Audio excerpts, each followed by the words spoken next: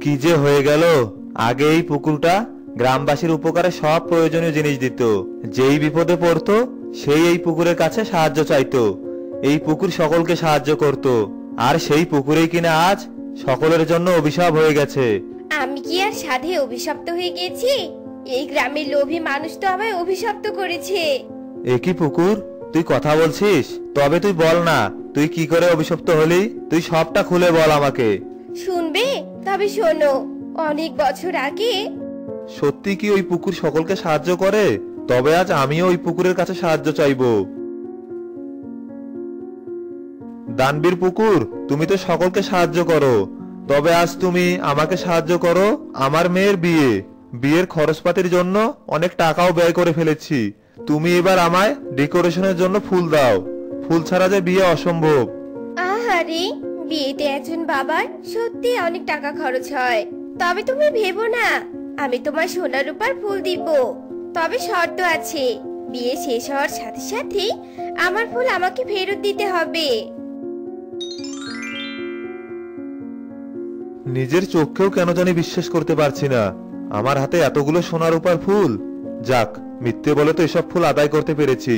এবার আমি এসব ফুল বিক্রি করে খুব সুখেই সারাটা জীবন কাটাবো। কি ব্যাপার সুরেশ দাদা?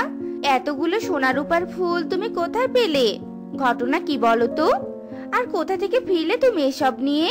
দেখেই যখন ফেলেছ তবে তো আড়াল করার কিছু নেই। তাছাড়া তো এসব ব্যাপারে গ্রামের সবাই জানে। আসলে এসব আমাকে ওই পুকুর দিয়েছে। তাই নাকি? এতদিন আমি ওই পুকুরের ব্যাপারে অনেক গল্প শুনেছি। আর আজ চোখের সামনেই প্রমাণ দেখলাম। আসলেই, ওই পুকুর দানশীল। যাকগে এবার আমি চলি। চোখের সামনে এত সোনা রূপা দেখলাম। আমার তো আর লোভ মানছে না। এবার আমি ওই পুকুরের কাছে যাব আর সোনা রূপার জিনিসপত্র নিব। হে দানশীল পুকুর, তুমি তো অনেক দয়ালু। এ গ্রামের মানুষদেরকে বিপদে আপদে সবসময় সাহায্য করেছ? আজ আমিও নিরুপায় হয়ে তোমার কাছে এসেছি। আসলে আমি একজন সাধু বাবাকে নিমন্ত্রণ করেছি, কিন্তু সাধু বাবাকে খেতে দেওয়ার মতো কোনো থালা ঘরে নেই। ঘরে একটা মাটির থালা ছিল, সেটাও আজ সকালে ভেঙে গেছে। এখন আমি কি করব? তুমি বলো, জাদুর পুকুর। আহারে, তবে তো ভালোই বিপাকে পড়েছো। তবে সাধু বাবাকে খাওয়ানো পুণ্যের কাজ। আমি তোমার থালা গ্লাস দিচ্ছি। এই নাও, এই সোনার থালা বাসনে সাধু বাবাকে খাইয়ে তার মন জয় করো। তবে একটা শর্ত আছে, কাজ শেষ হলে কিন্তু আমার জিনিস আমার ফেরত দিতে হবে।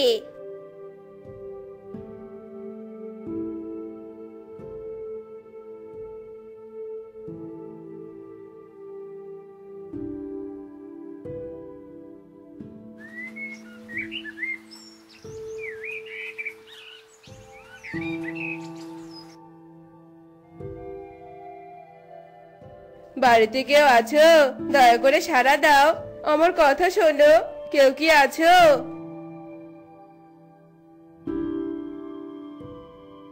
আরে গিন্নিমা আপনি আপনি হঠাৎ এ বাড়িতে কি মনে করে এসেছেন? আমি অসুস্থ শরীর নিয়েছে দাঁড়িয়েই থাকতে পারি না। আসলে এপথ দিয়ে একটা কাজে যাচ্ছিলাম। হঠাৎ বড্ড জল তেষ্টা পেল আমার। আপনি আমার বাড়িতে জল খেতে এসেছেন? এ তো আমার সৌভাগ্য। আপনি একটু অপেক্ষা করুন আমি আপনাকে জল দিচ্ছি।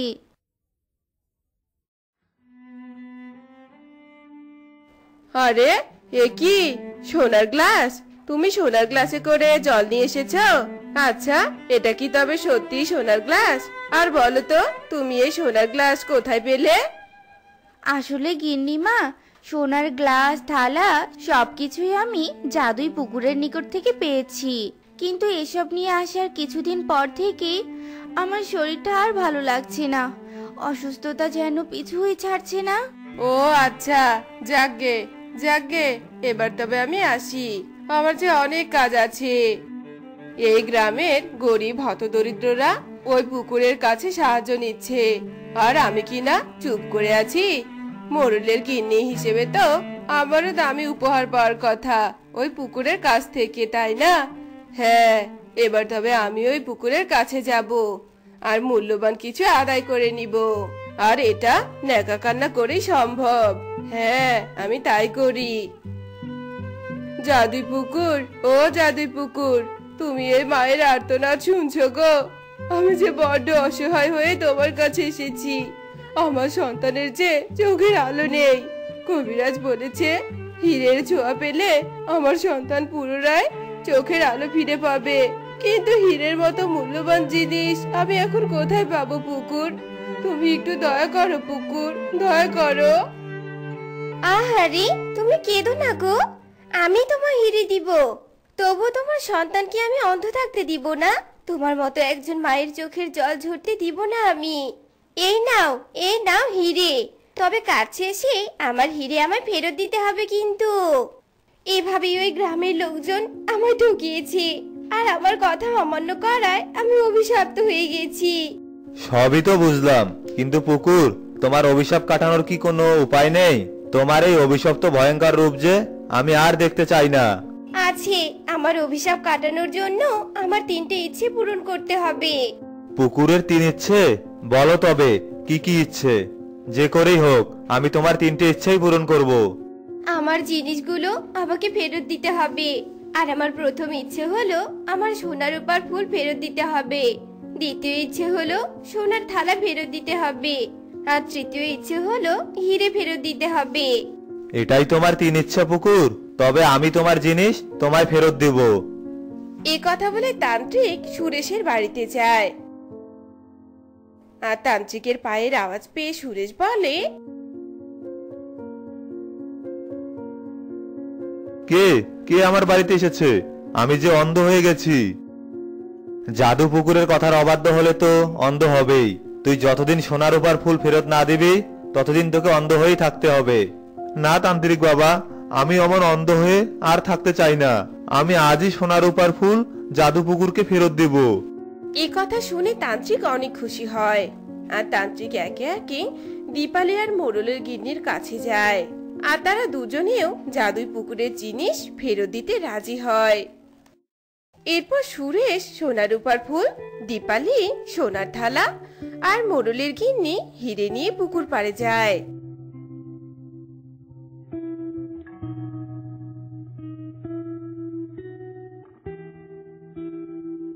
আর একে একে ওরা সব পুকুরের জলে ফেলে দেয়।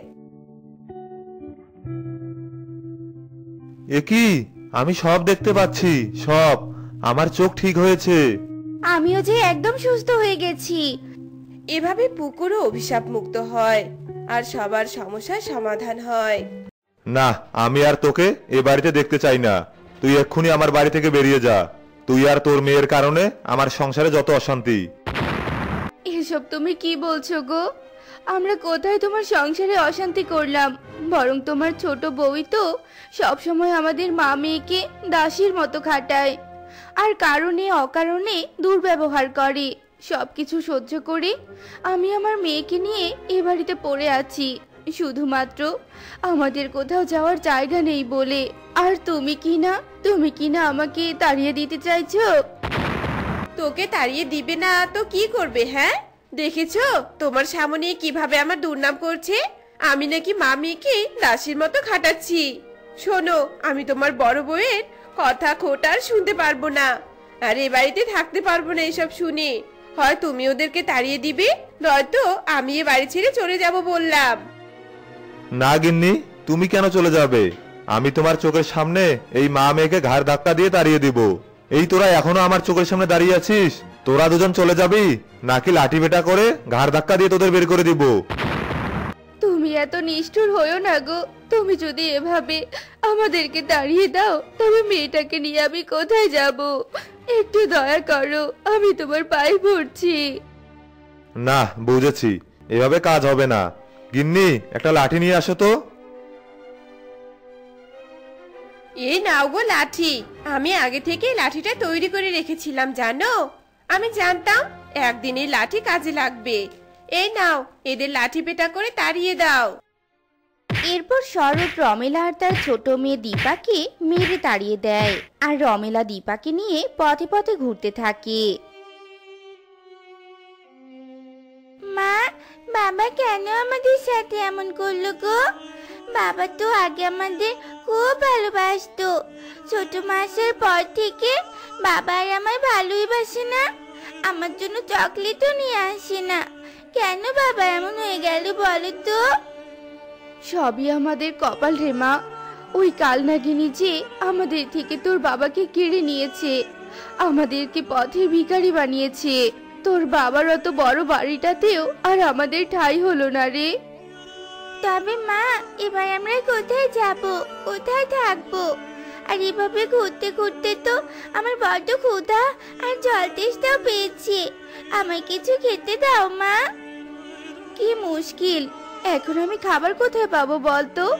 আর আমার হাতে তো কোনো টাকা পয়সা নেই। আমি খাবারই বা কিনবো কি করে? মা, ওই যে দূরে একটা নলকূপ দেখা যাচ্ছে। চলো, গিয়ে একটু জল খাই। খাবার তো আর কপালে জুটবে না।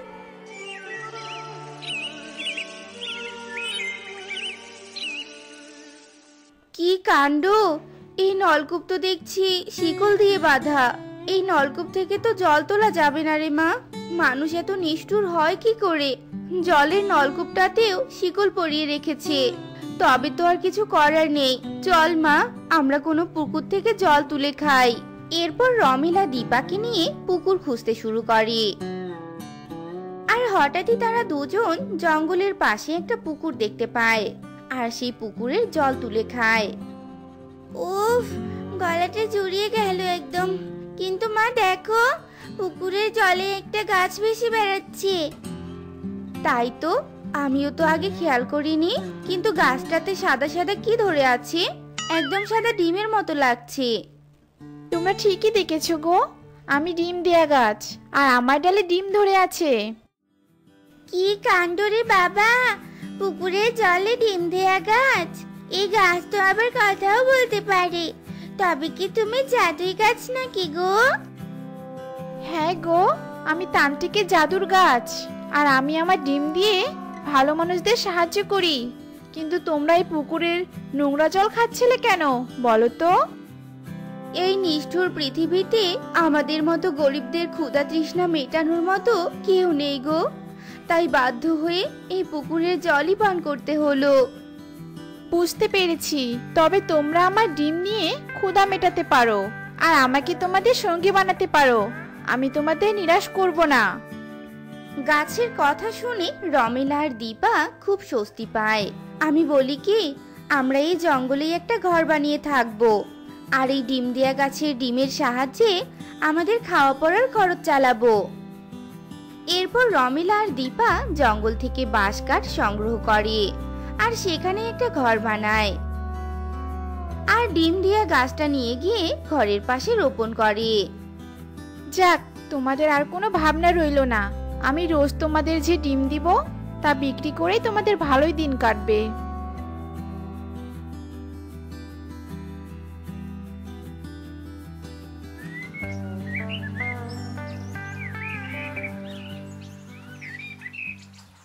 কি ব্যাপার গিন্নি? এটা তুমি কাকে এ বাড়িতে নিয়ে এসেছ? আর সকাল থেকে তুমি কোথায় বা ছিলে?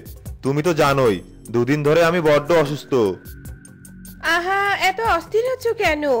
আমি তো জানি যে তুমি অসুস্থ। আর তাই আমি ডাক্তার ডাকতে গিয়েছিলাম গো। আর ডাক্তার তোমার ওষুধের নামও লিখে দিয়েছে। এবার শুধু তোমায় এই কাগজটায় স্বাক্ষর দিতে হবে। সে কি কথা বলছো গিন্নি? এমন ডাক্তার তো আগে দেখিনি যে স্বাক্ষর নিয়ে চিকিৎসা দেয় আর জ্বরের কারণে তো ঠিকমতো দেখতেও পারছি না। কি আছে এই কাগজে? সে কি গো? তুমি কি আমাকে তবে অবিশ্বাস করছ নাকি? যে আমার কথা এখানে একটা স্বাক্ষরও দিতে পারছ না? আহা গিন্নি রাগ করছ কেন? দাও দেখি কাগজটা আমি স্বাক্ষর করে দিচ্ছি। সাব্বাস কুসুম তোমার স্বামী তো তোমায় অনেক বিশ্বাস করে তোমার এক কথায় সম্পত্তির দলিলে স্বাক্ষর করে দিল আর সব সম্পদ আমাদের দুজনের হয়ে গেল। কি সব কথা বলছে এই লোকটা? কুসুম তুমি না বলেছিলে এই লোকটা ডাক্তার? তবে এই লোক আমার সম্পদ নিয়ে কথা বলছে কেন? বলেছিলাম তবে ও কোনো ডাক্তার নয়। ও হলো আমার প্রেমিক দিলীপ জানো? আর আমরা দুজন মিলে ষড়যন্ত্র করে এই দলিলে স্বাক্ষর নিয়েছি। আর এখন তোমার সব সম্পদ আমার। আর আমরা তোমাকে তাড়িয়ে এই বাড়িতে সুখে দিন কাটাবো। কুসুম এসব কি কথা বলছো তুমি? তোমার জন্য আমি আমার স্ত্রী সন্তানকে এ বাড়ি থেকে তাড়িয়েছি। আর তুমি কিনা আজ? এ কি গো? এ তো দেখছি চোখ বুঝলো মরে টরে গেল নাকি? আর গেলেই বা কি? রাতের অন্ধকারে একে জঙ্গলে ফেলে দিয়ে আসব। কি ব্যাপার দীপা? তোর এখনও ডিম তোলা হয়নি? ডিম নিয়ে তো আবার বাজারে যেতে হবে। জানিসই তো, এই জঙ্গল থেকে বাজার কত দূরে। মা, ডিম তোলাতে শেষ। আর দেখো মা, ডিমগুলো ঝুড়িতেও সাজানো শেষ। তুমি ডিমের ঝুড়ি নিয়ে যাও মা। ভালোই করেছিস মা। এবার ঝুড়িটা আমার মাথায় তুলে দে তো। আর শোন, আমি বাজারে যাওয়ার পর কিন্তু তুই ঘরেই থাকবি। কোথাও যাবি না। জানিসই তো, আমরা জঙ্গলের মধ্যে থাকি। আচ্ছা মা, কোথাও যাব না। এবার তুমি তাড়াতাড়ি বাজারের জন্য বেরিয়ে পড়ো। দেরি হয়ে যাচ্ছে তো। এই কথা বলে দীপা রমিলার মাথায় ঝুড়িটা তুলে দেয় আর রমেলা ঝুড়িটা নিয়ে বাজারে যাওয়ার জন্য বেরিয়ে পড়ে। আর যাওয়ার পথে রমেলা হঠাৎই কাপড়ে পেঁচানো একজনকে দেখে থমকে যায়। কি কাণ্ড? এখানে এটা কে পড়ে আছে? দেখি তো কাছে গিয়ে। এ কি? দীপার বাবা? এ অবস্থা কি করে হলো তোমার? হায় বিধাতা, এবার আমি কি করব? এভাবে কাঁদতে কাঁদতে রমেলা শরৎকে নিয়ে বাড়িতে ফিরে যায় আর দীপা কবিরাজকে ডেকে এনে শরতের চিকিৎসা করায়।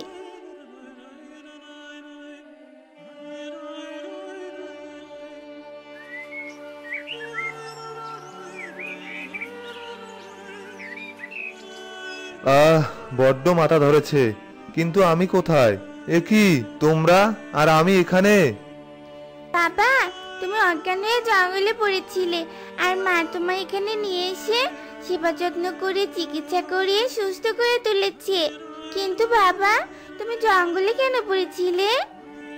মারে বিধাতা আমায় পাপের শাস্তি দিয়েছে। ওই কুসুম কান লাগেনি ষড়যন্ত্র করে আমার সব সম্পদ নিজের নামে লিখে নিয়েছে। আমি নিঃস্ব হয়ে গেছি রে মা। তোরা আমায় ক্ষমা করে দে। এই নিঃস্ব জীবনে আমি আবার তোদের নিয়ে বাঁচতে চাই। শরতের চোখের জল দেখে রমিলা ও দীপা সব ভুলে যায় আর শরৎকে আপন করে নেয়। তো বন্ধুরা, আজকের এই গল্পটি তোমাদের কাছে কেমন লেগেছে তা কমেন্টে জানাতে ভুলো না কিন্তু।